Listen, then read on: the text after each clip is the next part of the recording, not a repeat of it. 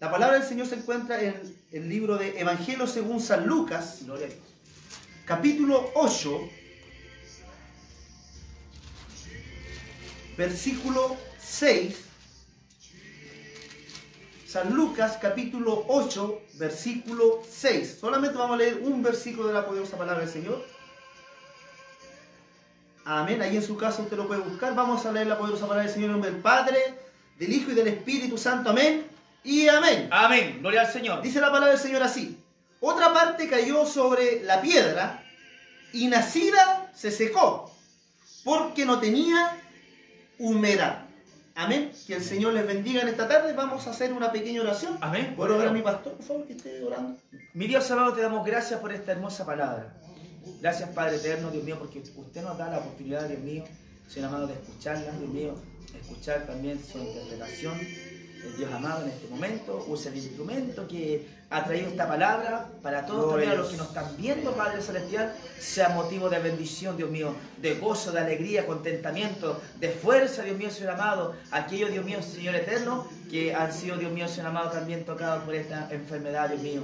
Señor eterno, estamos todos expuestos, Dios mío, pero nuestro deber, nuestra misión es llevar este mensaje de esperanza para todos aquellos, Padre eterno de la gloria, para que también ellos, Dios mío, Señor amado, puedan ver que en Cristo Jesús también hay misericordia. Gloria a su nombre para siempre.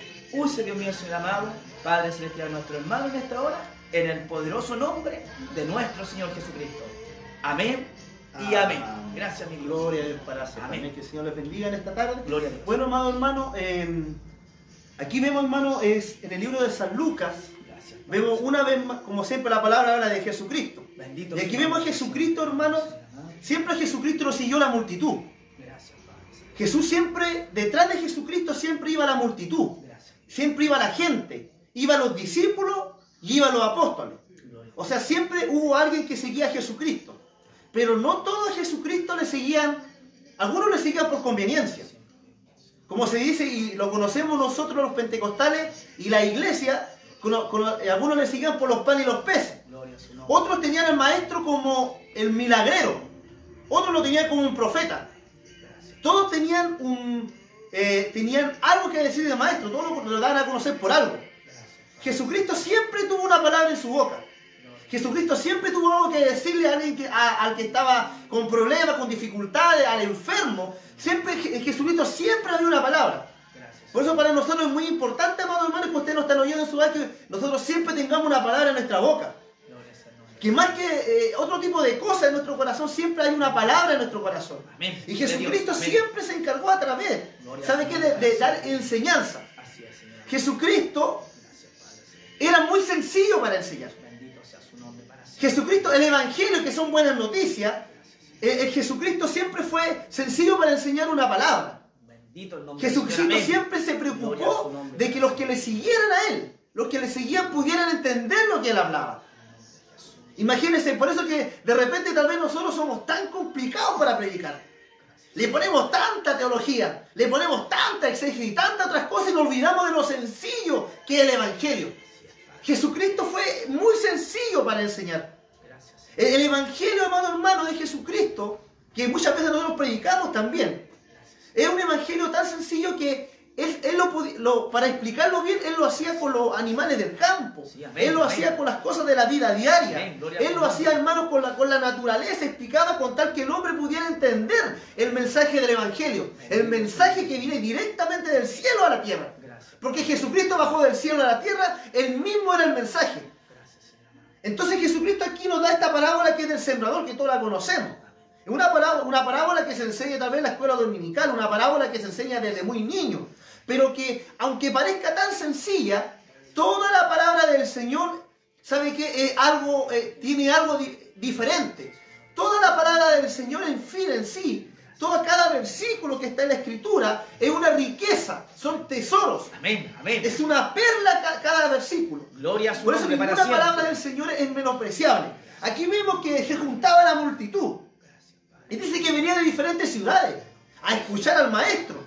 Porque donde hay una palabra de verdad, donde hay una palabra de, de una sana fe, una sana doctrina, donde hay una palabra verdadera del Señor, siempre va a buscar gente esa palabra. Amén. Pero también va a haber siempre gente que va a rehusar aquella palabra de verdad. Porque la palabra nos confronta a, a mí y a usted, siempre nos va a confrontar la palabra. Siempre nos va a dar a entender y nos va a mostrar un espejo y nos va a decir, esta es mi condición. Esta es su condición. Porque la palabra no nos miente. Amén. Entonces aquí vemos a Jesucristo que dice que hay un sembrador. Y este sembrador cuando va sembrando la semilla cae en distintas partes. Dito Dios. Dice que la primera semilla cayó junto al camino. Que la segunda semilla, el cual el versículo que acabamos de leer en Lucas 8:6, Amén. que cayó sobre la piedra. La tercera es que cayó entre los espinos. Y la cuarta es que cayó en buena tierra. Amén. Amén. Pero yo quiero hablar hoy día sobre eh, este, este, esta semilla que cayó, dice la palabra del Señor, entre piedras. Porque todo, eh, alguna vez, hermanos, tuvimos un comienzo. Cuando hay una iglesia, todo hay un comienzo. Todo cristiano tiene un comienzo. Ninguno se hizo cristiano porque sea. Siempre un cristiano escuchó una palabra, le llegó un tratado, lo escuchó por radio la palabra del Señor, por televisión, o tal vez alguien le habló a usted del Señor. Y de alguna forma usted llegó. Estoy, eh, estoy hablando de personas que, que han llegado a la iglesia del Señor, que han aceptado a Cristo en su corazón. Y de alguna forma usted llegó al Evangelio y se está congregando. Allá, cual sea su congregación, cual sea el lugar donde usted se congrega, cual sea su pastor. Entonces, esta semilla cae en cada semilla que cae aquí en un lugar son diferentes tipos de personas. Son diferentes tipos de, de almas, diferentes tipos de creyentes, diferentes tipos de, de gente que cual cayó esta semilla. La pregunta es, ¿qué tierra es usted y qué tierra soy yo? La semilla que la palabra siempre ha sido buena, la semilla siempre ha sido buena. El problema es la tierra. El problema son los corazones. Y aquí vemos la palabra del Señor que dice que otra parte cayó sobre la piedra y nacida se secó porque no tenía humedad. Pero siempre nosotros como cristianos y siempre en la vida del Señor, siempre en la iglesia, obviamente que va a haber gente que no entiende la palabra del Señor. Y es normal. Para eso está, están los predicadores, los pastores, los líderes, para poder enseñar la palabra del Señor, los maestros de la escuela dominical, para poder dar esta interpretación divina a la escritura y, la- y las personas la pueden entender, los hermanos la puedan entender. Entonces Jesucristo, aquí Él, él- él da esta, esta parábola, pero mucha gente no la entendió. Sí. Así como mucha gente llega a la iglesia y no entiende la palabra del Señor porque no hay sabiduría en ellos, porque aún les, algo falta. Gloria a Dios. Amén. Entonces amén. Jesucristo también se preocupó amado hermano, de poder explicar esta, esta parábola. Entonces la explicación a esta parábola la encontramos ahí mismo en el versículo 8, capítulo 8, pero en el versículo 13, donde dice, explicando, dice, los de sobre piedra, escucha bien, los de sobre piedra, hablando de donde cayó esta semilla, son los que habiendo oído, ¿cuánto han oído la palabra del Señor? Pero Perdón, dice, los de sobre piedra son los que habiendo oído, reciben la palabra con gozo. Pero estos no tienen raíces. Gloria a su nombre. Creen por algún tiempo y en el tiempo de la prueba se apartan. Y esta palabra es para todos. Sí, amén. Gloria a su nombre. Porque todos alguna vez hemos oído la palabra del Señor. Amén. Usted en este momento me está oyendo. Usted me está viendo. Amén. Los, los que estamos aquí reunidos, los pocos que estamos aquí, nos están yendo y nos están viendo y oyendo. Y podemos decir, y usted podría decir, yo también estoy viendo, estoy oyendo y estoy atento a la palabra del Señor. Y eso está muy bien, mi hermano. Pero imaginen, dice, y reciben la palabra con gozo. Y eso a mí me recuerda cuando uno acepta el nombre del Señor. Amén. Cuando uno hace la confesión de fe. Gloria a Dios. Amén. Santo es su ¿Cómo, cómo, cómo comienza el cristiano? Que es increíble. Gracias, Padre. Ese hermano que comienza con gozo y que todo le gusta. Todo le agrada. El pastor dice, hagamos esto, y él dice, amén. El, el otro hermano dice, hagamos esto, amén. Hermanos que cooperan, hermanos que dicen, yo traigo esto. Que dicen, no se preocupe, yo voy a hacer esto, yo voy a barrer. No se preocupe, que yo voy... Todo lo hacen con gozo. Algo que usted y yo tenemos que mantener a nuestro corazón. Porque cuando se pierde ese gozo de la salvación, el cual David se preocupó de decirle a Jehová que no, no, no, no se fuera de su corazón. Cuando él dice, vuélveme el gozo de tu salvación. Dios. Amén. Amén. Así es, Y Señor. si él dice, vuélveme el gozo, Gloria es porque no lo tenía. Amén. Por lo tanto, aquí vemos un, un- un cristiano que oye la palabra. Un cristiano que, que recibe la palabra y la recibe con mucho gozo. Esta palabra, amado hermano, que estamos leyendo, esta palabra que se lee, para muchos hermanos va a ser de gozo. Para muchos hermanos va a ser de, va a ser de, de alegría, va a ser de sanidad, Va a ser una palabra de, que nos va a sacar de la cárcel, de libertad, de aliento. Es una palabra que a muchos les gusta. Pero también hay hermanos que no les gusta la palabra. Especialmente cuando la palabra es la palabra de verdad. ¿Y por qué digo palabra de verdad? Porque hay palabras también que son de mentira. Porque también hay palabras que están contaminadas. Porque también hay palabras que vienen ponzoñosas, venenosas. Sí, amén. Pero cuando aquí dice que reciben la palabra con gozo. Yo no sé cómo la está recibiendo usted en esta tarde. Pero ojalá que usted esta palabra la reciba con gozo ahí en su hogar. En ese culto que usted está haciendo ahí en su hogar. En ese culto que usted está haciendo con su familia. En ese culto que usted tiene que hacer por, por aquel que lo salvó y armó su alma. Entonces, aquí vemos este tipo de cristianos. Pero dice, pero estos no tienen raíces.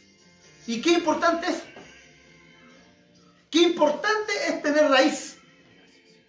Qué importante, esto se ve, porque dice Jesucristo que en la naturaleza, usted ve un árbol. Y usted mira el árbol, hermano. Y usted ve que el, raíz tiene árbol. pero el árbol tiene una raíz. amén. Y que esa raíz, esa, esas manitos que salen, que están agarradas de la tierra. Pero la palabra decía ahí arriba, en el versículo 6, que cuando cayó la piedra nacida se secó. Amén. Se secó. Porque hay gente que tiene plantas, hay gente que tiene agua y dice, a mí me encantan las plantas, pero nunca las riega. Sí, amén. Es como las personas que tienen animales y nunca se preocupan de los animales. Entonces, ¿qué es lo que pasa? Que aquí hay un descuido. Y aquí el que roba la semilla, lamentablemente, es Satanás el diablo y que el Señor lo reprende. Amén. usted está escuchando esta palabra, pero déjeme decirle que cualquier cosa que querrá impedir que usted no oiga esta palabra, cualquier cosa, Satanás el diablo va a querer hacer para que usted no oiga esta palabra que va a ser de bendición para su vida y para mi vida. Entonces, esta palabra, cuando cayó en este lugar rocoso, en estas piedras, dice la palabra que no tenía raíz. Echar raíz, amado hermano, es más que echar raíz en una iglesia en una corporación, en un ministerio. Es más que echar raíz en, algo terrenal. Echar raíz, echar raíz en el reino de los cielos. Porque si usted echa raíz en el reino de los cielos, ahí usted nada lo podrá mover. A usted nada lo podrá sacar de aquel lugar. Es importante, dice que creen por algún tiempo. Y en el tiempo de la prueba se apartan. Es por eso es tan importante, amado hermano, tener ese tipo de raíz. Es tan importante la enseñanza en, las iglesias. Es tan importante la enseñanza que hay en las congregaciones. Es tan importante que, que, lo que en la iglesia se enseñe sea una palabra de verdad. Una palabra que realmente haga que el cristiano tenga una raíz verdadera. Para que no venga el, el viento, para que no venga la tempestad y eso lo haga caer. Yo siempre he dicho esto. Usted se puede, usted se puede ir de la iglesia. Usted puede cambiarse de congregación y de ministerio. Pero usted no tiene por qué apartarse del Señor. Pero usted no tiene por qué apartarse de aquel que lo salvó.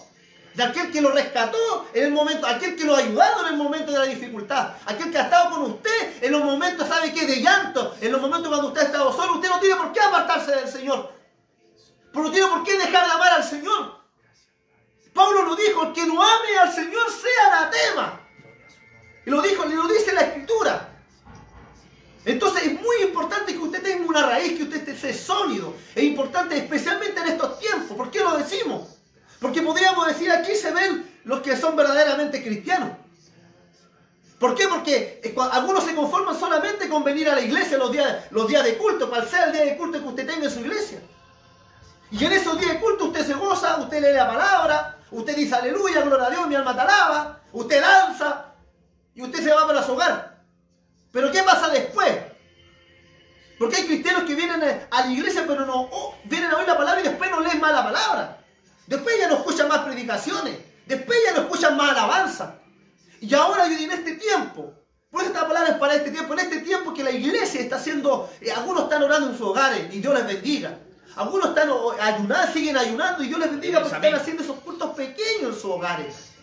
Algunos como nosotros que por misericordia de Dios podemos transmitir esta palabra a través de estas redes sociales. Pero los que no lo tienen, aquellos que no pueden, aquellos que están comenzando, aquellos que no, tienen, este apoyo, por decir así. ¿Qué pasa con aquellos que no leen la palabra? Con aquellos que no, tienen un alimento sólido, con aquellos que están empezando. Por eso esta palabra es para usted, amado hermano, y es para mí. Porque nadie puede decir yo estoy firme. La palabra me lo dice. El que piensa estar firme, mire que no caiga. La firmeza está en el Señor. Aunque usted se afirme de, los pies de su pastor. Aunque usted se afirme, amado hermano, de la mano de su pastor. Aunque usted lo abrace todo el día, toda la noche. Y usted le diga no te soltaré. Aún así, hermano. El único que usted no puede afirmar va a ser el Señor Jesucristo. En Él está la firmeza. En su palabra. Esto a nosotros nos hace firme y nos hace tener raíces para que no venga cualquiera y lo arranque. Hay árbol, hermano, y planta que es muy, muy difícil de arrancar. Hay unas malezas que usted las toma, hermano, y por más que la quiera sacar, no las puede sacar. La gente que trabaja en el campo, que trabaja en, este, eh, labor urbana, la gente que trabaja en, el área de jardinería, haciendo este tipo de cosas, botánica, toda esta gente que hace aquellas cosas anda con esa mala. Y de repente ahí hay una, unas matas tan duras que le pegan con esa pala y no se salen, hermano. No se rompen. Y pueden estar ahí buenos minutos hasta que se sale, pero es porque tiene una raíz tan firme, tan sólida, hermano. Porque sabe que ese, ese, esa planta, ese árbol, ha, tomado agüita. Porque ese árbol se afirmó. Es importante tener esa raíz, amado hermano. Vendrá el sol, vendrá la lluvia, la tempestad, y ahí va a permanecer ese árbol. Por eso dice la palabra del Señor, mire, escuche este, este eh, segundo versículo en el Salmo 91, versículo 13. Dice, plantados en la casa de Jehová. Escuche, plantados en la casa de Jehová. En los atrios de nuestro Dios florecerán. Aún en la vejez fructificarán. Estarán vigorosos y verdes para anunciar que Jehová mi fortaleza es recto y que en él no hay injusticia. Pero mire qué maravilloso. Plantados en la casa de Jehová, en los atrios de nuestro Dios, florecerán. Es importante, hermano, estar plantado en el Señor, en la casa del Señor. Es importante estar en los caminos del Señor. Dice que ahí florecerán, aún viejitos florecerán, hermano. Ahí, está, ahí, es donde se ven los frutos verdaderos. Ahí es donde verdaderamente a nosotros nos conviene estar. Por eso, amado hermano, esta palabra es para todos nosotros, amado hermano, que nos están escuchando. Es importante que tengamos un buen crecimiento. Es importante que usted ahí en su hogar se esté alimentando de la poderosa palabra del Señor. Este, esta palabra, este espacio que nosotros estamos haciendo en nuestra iglesia, va a terminar. Pero nosotros regresaremos a nuestro hogar. Y a lo mejor mañana usted no tendrá culto. A lo mejor usted tendrá un culto tal vez con su familia. Y eso es lo importante, que usted se siga fortaleciendo en la palabra del Señor. No sabemos, hermanos, cuánto va a durar este, eh, eh, eh, todo esto que está pasando en nuestro país, en el mundo. No sabemos si van a pasar meses, no sabemos si van a pasar semanas. Pero después que pase todo esto, hermanos, si el Señor no viene antes, si el Señor no, no quiere venir antes, si Él no viene antes, hermano, ¿qué va a pasar con muchos hermanos? Por eso si usted se encuentra que está flaqueando, si usted encuentra que su fuerza está en la iglesia, en un culto, usted está equivocado. Su fuerza no está en un culto, no está en una alabanza. Su fuerza no está en un pastor. Su fuerza tiene que estar en el Señor, tiene que estar en la palabra de Dios. Amén, así es, Señor. Esto es lo que a nosotros nos puede dar fuerza. Esta es el agua viva que viene del cielo. Es lo que necesitan, necesitamos nosotros como árboles del Señor, como plantío de Jehová. Estar en los caminos, en la casa de Jehová. Usted es casa de Dios. Yo soy casa del Señor. Lo dice la Escritura. ¿O acaso no sabéis que vuestro cuerpo es templo del Espíritu Santo? Entonces nosotros lo sabemos. En nosotros tiene que haber agua, hermanos. En nosotros tiene que haber, ¿sabe qué? Esta solidez. Nosotros tenemos que estar plantados en el Señor. Nosotros tenemos que vivir así, hermanos, en los caminos del Señor. Y qué hermoso porque este versículo decía, amado hermano, que siempre permanecía verde. Siempre. Están las hojas caducas y en las hojas perennes. Y sabe que hay árboles que siempre permanecen verdes, ya sea la estación del año que, que, salga, ya sea la estación del año que se esté viviendo, ese, árbol siempre está verde. Si yo no me quiero, no me equivoco, son las, hojas perennes, si no me equivoco. Si no, alguien me, puede ahí, eh, me puede confirmar, amén. Si no me equivoco, son las hojas perennes, que siempre permanecen verdes.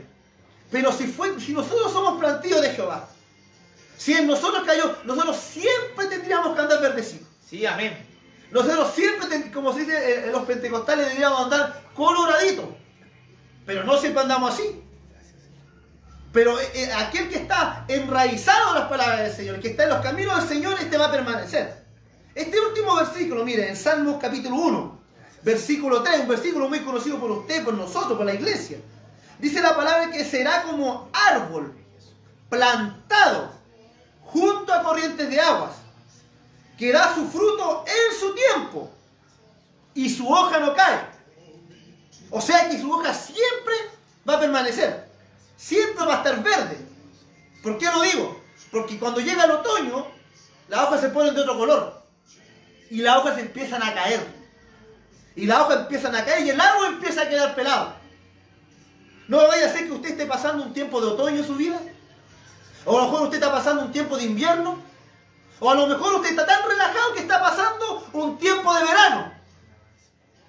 O tal vez usted está en la primavera y recién está empezando y está floreciendo en los caminos del Señor. Está en cierne. Recién está comenzando. Cual sea la etapa en que usted esté viviendo espiritual, usted necesita la palabra del Señor. Usted necesita plantarse en los atrios de Jehová. Usted necesita plantarse en la palabra del Señor. Por eso dice la palabra aquí del Señor que es como árbol plantado junto a corrientes de agua. Gracias, mi Dios. Usted está oyendo. Usted en este momento está plantado junto a corrientes de agua. Porque lo que está saliendo de aquí es palabra del Señor. Lo que está saliendo de este lugar es agua del Señor, agua de Dios. Amén. Y agua que viene del cielo. Estos mensajes, hermano, no se sacan de internet. No se sacan de Wikipedia. Gloria a su nombre. El mensaje tiene que venir directamente del cielo. Amén, El maná viene del cielo. Gloria Jesús dijo, yo soy el Dios mío". pan de vida que descendió del cielo.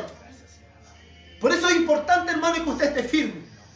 Por eso esta parábola tan, tan maravillosa en el libro de Lucas. Si usted quiere también lo puede, lo, lo puede ahí en, en su hogar. Usted lo puede leer, usted puede introducirse, puede inquirir en la palabra del Señor y puede encontrar grandes riquezas que hay en la poderosa palabra del Señor. Amén. Pero que nosotros, hermano, no seamos como este tipo de tierra. La semilla siempre va a ser buena, hermanos. La semilla siempre, la palabra de Dios no tiene, no tiene errores. La palabra no tiene errores. La palabra es, es perfecta. Es que, hermano, falta el libro. Es que falta esto, hermano. Es que la palabra no tiene errores. La palabra, porque si no, esta palabra no nos cambiaría, amado hermano. Por eso quiero volver a leer para ir terminando este, esta predicación. Los de sobre la piedra son los que habiendo oído, reciben la palabra con gozo. Si usted la recibió con gozo, Dios le bendiga. Pero estos no tienen raíces. Creen por algún tiempo y en el tiempo de la prueba se apartan. Por eso decía en el Salmo 1, como árbol plantado junto a corriente de agua hay que su- el fruto a su tiempo. Yo no sé cuánto tiempo usted llevará en el Evangelio. Tampoco me interesa cuánto tiempo usted lleva en la iglesia. Porque usted puede llevar 40, 50 años en la iglesia. Y a lo mejor todavía no ha entendido los planes del Señor, todavía no ha entendido la escritura. A lo mejor, más directamente todavía ni siquiera a lo mejor se ha convertido. A lo mejor usted puede llevar poco tiempo, amado hermano, amada hermana que está oyendo, quien sea que esté oyendo. Puede llevar un poco tiempo, pero usted, ¿sabe qué? Haga raíz. Usted tenga una raíz sólida. Amén. Así que, amado hermano, esta ha sido la palabra del Señor. Gracias, Padre. Yo le voy a rogar ahora, hermano, que usted ahí en su hogar también esté cerrando sus ojos. Amén. Porque vamos a orar al Señor. Voy a pedir que suba un poco la música, mi hermano, Gloria a Dios, amén. para orar al Señor. Así que cerramos nuestros ojos y así entregamos esta poderosa palabra. Cerremos nuestros ojos. Amén. Padre, te queremos dar gracias en esta tarde por esta poderosa palabra del Señor que usted nos ha entregado. Esta palabra, Señor, que algo hará en el corazón del hombre. Tu palabra así me lo enseña el libro de Isaías. Que esta palabra dice, no volverá a mi vacía, sino que hará lo que tenga que hacer, Señor. Por eso en esta tarde yo te ruego que a través de estos medios, usted, Señor, esté bendiciendo, Señor, y haciendo crecer esta semilla en el corazón de cada uno que ha oído esta palabra. Que no venga el enemigo y la robe, Señor. Y cuando me refiero a eso, Señor, no vaya a venir una novela y te haga olvidar la palabra. no vaya a venir una película y te haga olvidar la palabra. No vaya a venir el problema, la dificultad y nosotros no olvidemos de esta poderosa palabra. Queremos crecer, Señor, en tus caminos. Queremos echar raíces en el reino de los cielos. Queremos ser plantío de Jehová. A pesar de toda esta adversidad y conflictos que estemos viviendo, de enfermedad y virus que está pasando en nuestro país y el mundo, guárdanos bajo tu mano, Señor. Guárdanos bajo tu sangre, Cordero de Dios. Muchas gracias por esta palabra, Señor. Y yo te pido, Dios del cielo, que usted haga lo que el hombre no puede hacer en el corazón de cada uno que ha oído tu palabra y en mi corazón. Para gloria de tu nombre, en el nombre del Padre, del Hijo y del Espíritu Santo. Amén. Y amén.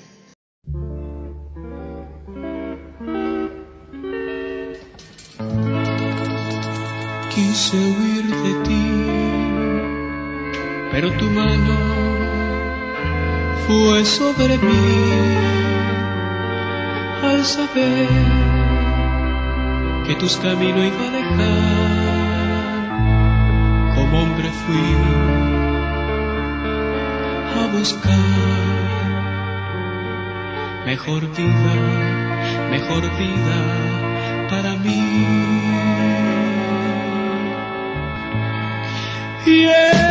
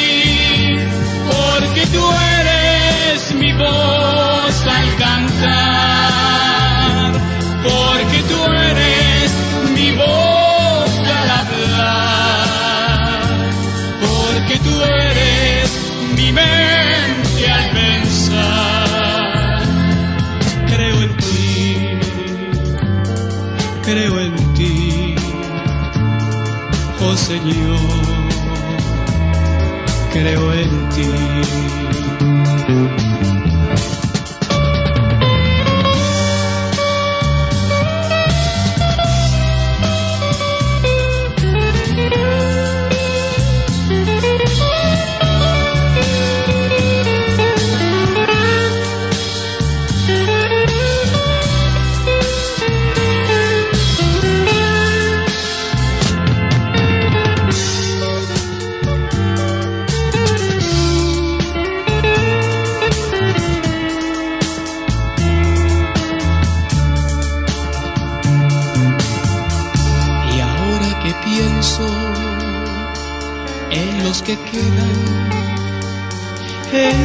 En los que quedan sin salvación, qué pena me da al saber que para ellos la salvación también fue